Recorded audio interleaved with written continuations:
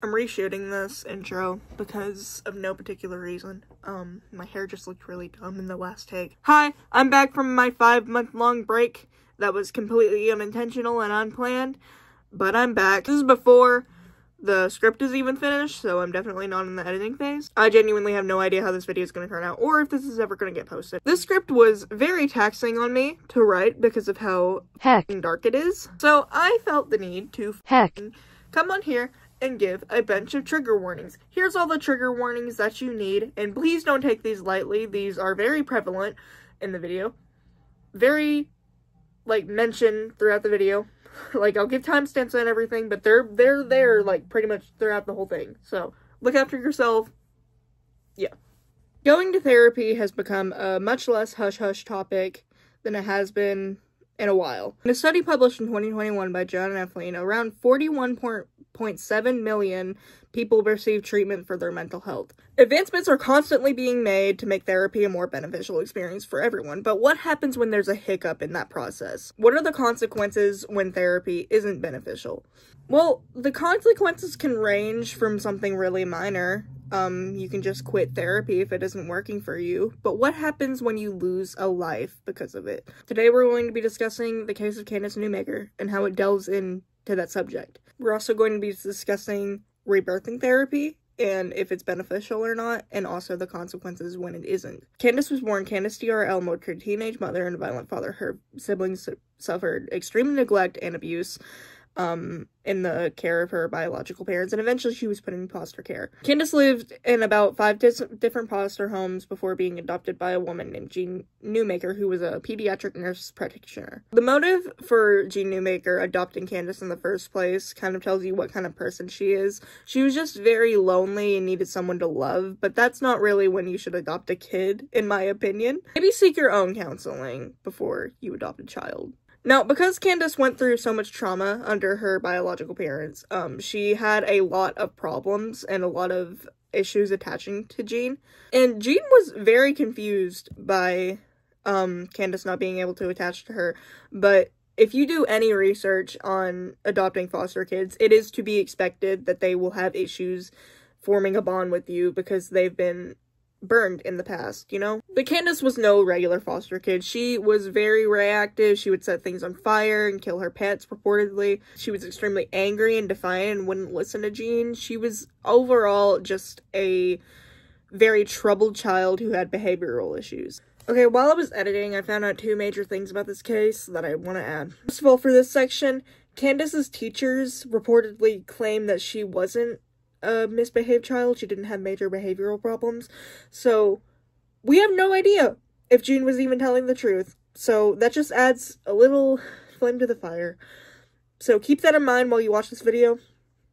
Take everything Jean says with a grain of salt. Candace was sent to a long list of therapists and tried out many medications, but none of them seemed to be improving her behavior at all, and if they did, it was very minimal and didn't really solve the problem. One of the diagnoses that Candace received was reactive attachment disorder, and that is basically when a child suffers at the hands of a caretaker and then has trouble forming bonds with any um other caretakers. Now, this is kind of when the sky lit up for Jean. She had finally had answers and what to treat for Candace, and she searched for four more years to find a therapy that would be specific for reactive attachment disorder and that would work for her child. And in that search, she found a um alternative form of therapy called rebirthing therapy. Rebirthing therapy was developed in the 1960s by Leonard Orr, who was a spiritual guru and not a mental health professional.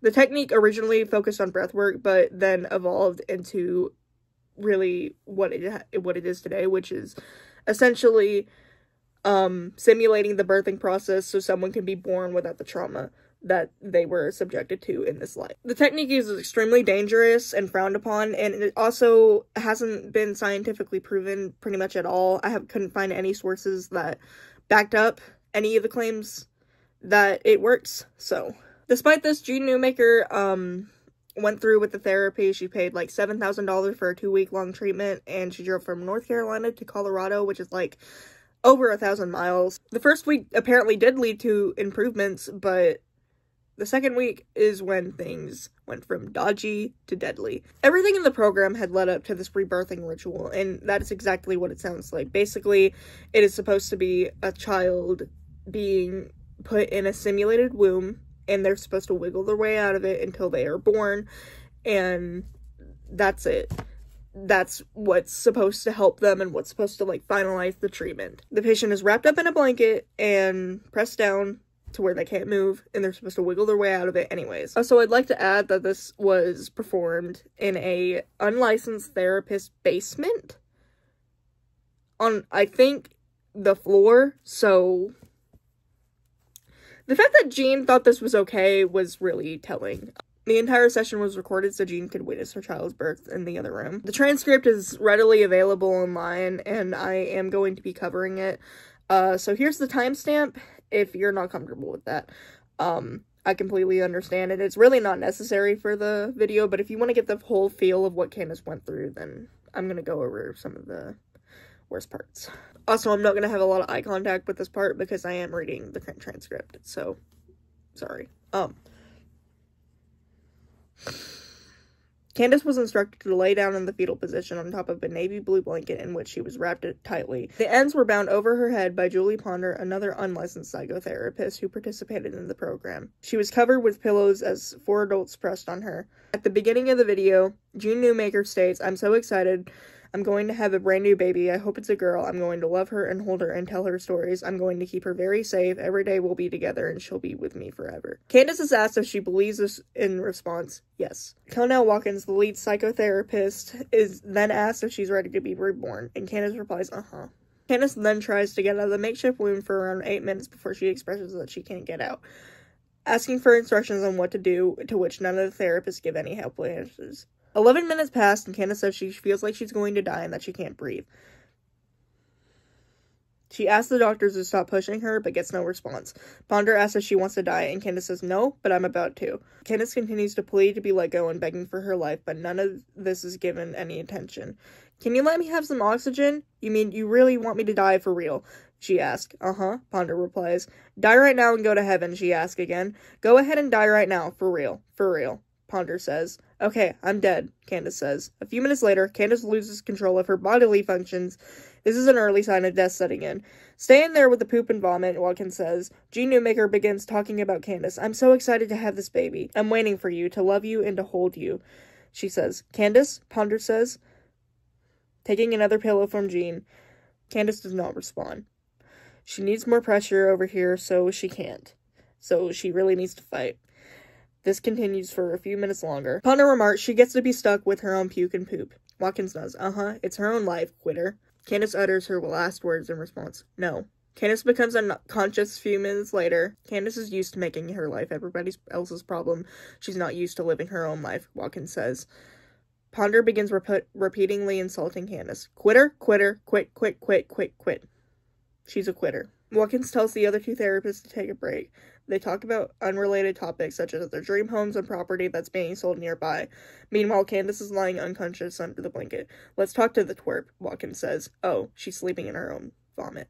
After the adults realized that Candace wasn't breathing, she was rushed to the hospital, but she was pronounced dead the next day. She had struggled for a total of 70 minutes under the weight of 673 pounds. Now, that's absolutely vile. The transcript part is probably the darkest part of this case, and the fact that you actually get to see what Candace went through really just destroys me and how cruel they were towards her as she was dying. Because the main defense in this trial was that they didn't know but there's absolutely no way that they didn't know that this girl was dying. There's absolutely no way that they did not understand that she was not being manipulative and that she was actually going to suffocate if they did not let her free. There isn't a lot of information regarding the trial online, but I did find a couple statements from Ponder and Watkins and Jean and all of them. The main defense in the trial that Watkins had was that she believed that Candace was being manipulative and not actually suffocating. Also that she didn't intend for Candace to die that day and that she had good intentions. She also stated that she believed that Jean Newmaker would have her daughter taken away if she did not do this. Steve Jensen, a prosecutor in the trial, argued for the maximum sentence and referred to it as a torturous cruelty of a sickening and depraved nature. He also stated that Watkins showed little remorse for um, killing Candace. And I honestly agree with that. Um, there are multiple accounts that said Ponder and um, Watkins did not show any remorse until they were sentenced. Connell Watkins was convicted of reckless child abuse resulting in death and was sentenced to 16 years in prison. She was an absolute wreck during her sentencing, despite showing absolutely no emotion throughout the rest of the trial. Uh, she was hugging her lawyers and just absolutely sobbing. She felt very, very, very sorry for herself. She was also convicted of criminal impersonation, obtaining a signature by deception, and an unlawful practice of psychotherapy. In her statement to the court, she stated, I feel sorrow, regret, and remorse that torments me every waking hour. I failed Candace and I failed her mother. I accept full responsibility and I am ready for what you require of me. My intention was to help Candace, not hurt her. And like I said, this remorse was not present um throughout the rest of the trial, just during her sentencing. Watkins only served half of her sentence. She served seven years, which is actually less than half. Um, and then she was paroled and sent to a halfway house, which is basically a rehabilitation facility. Um, that's supposed to integrate criminals back into society. She didn't even have that many restrictions. She was just basically required to wear an ankle bracelet that monitored her location, and she wasn't allowed to work in the psychotherapy field. She also had some restrictions when it came to interacting with children, but I couldn't find the details on that. Jean was also put in trial, and she was given a lesser sentence. In her statement to the court, she said, I knew it was a provocative therapy, and I thought it was our only chance. Every recommendation was being implemented, but it wasn't having an impact. I was very concerned that it wasn't going anywhere. She was given a four year suspended sentence, which is literally nothing. She was basically given probation for four years, and if she was on good behavior and uh, prescribed to the terms, then she would basically be free. And also, it was expended from her record when the four years were up. She was convicted of negligent child abuse resulting in death. That is absolutely insane to me. This woman did not spend a day in jail. Um, she oh god this case makes me so fucking mad. It's not even like we don't know what she did because she was present throughout the entire thing and even if there wasn't intent there was still a consequence. And i think you deserve to be punished for that. Hi i'm back post editing. Uh i forgot another thing. Uh, I forgot to mention the sentences for the other two therapists that kind of got overshadowed by Ponder and Watkins. Uh, these are their names. I can't remember them off the top of my head, but I don't want anyone to forget that these people were also involved. They only got 10 years of probation. Um That is ridiculous. Okay, bye. Um, I won't see you again. Candace was not given a very long shot at life, and it wasn't very fair to her that she was put in such terrible hands. She came from a really dark place of trauma and pain and and was put into a place that did not understand that. Candace was not the only child who died due to this technique and maybe I'll cover them in the future um because this really makes me angry that this is still going on. Fortunately, there were actions in place in Colorado to prevent this from ever happening in that state again. Uh, after Candace's death, Candace's law was signed, which banned the practice of rebirthing therapy in the state of Colorado. I think Candace Newmaker's case is criminally undercovered just because of the magnitude of the consequence, and I don't know. It's it's something that has really boggled my mind ever since I heard about it. I think it would be good if more people talked about it and brought it to light because I think that's what Candace deserves. I sincerely hope that one day she gets her moment and she gets the real justice she deserves. But realistically, that probably will never happen. I really hope it serves as a negative example for people who want to adopt foster children. Uh, but that's it. That's all I have for today. I hope you learned something from this and that you leave this with a sense of what can happen if this therapy continues to be implemented. So, have a nice night. Have a nice day. I'll see you in another five months. Yeah.